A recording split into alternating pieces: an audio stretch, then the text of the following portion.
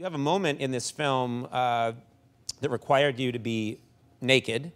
And it's a quick moment, but it's a funny moment because your character is very much, he lives off the grid.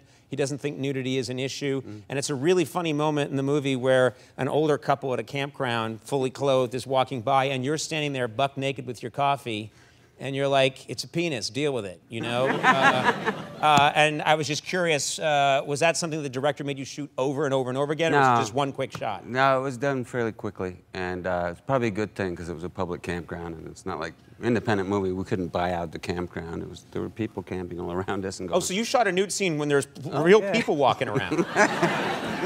okay. Well, those two people that are walking the shot, yeah. they hired to do it. Yes. Uh, but there were other people, yeah. you know, in the distance, kind of going, what the hell is that? Yeah, and there was a crow going, ha, ha. Now that's a crow. I got it. I got the crow. you have you're responsible for one of, uh, I think, one of the most compelling fight scenes of all time. You did a terrific movie called Eastern Promises, and there is a fight scene that takes place in a sauna where you're not wearing any clothes, and it is the most harrowing fight scene.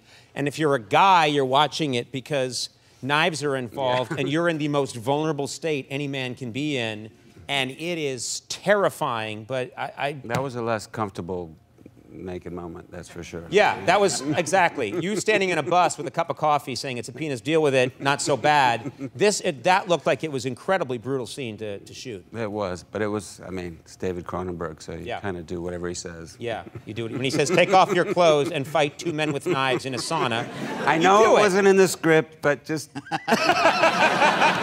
Got a little surprise for you today. really? He just sprung that one on you? Okay, well, you go for it.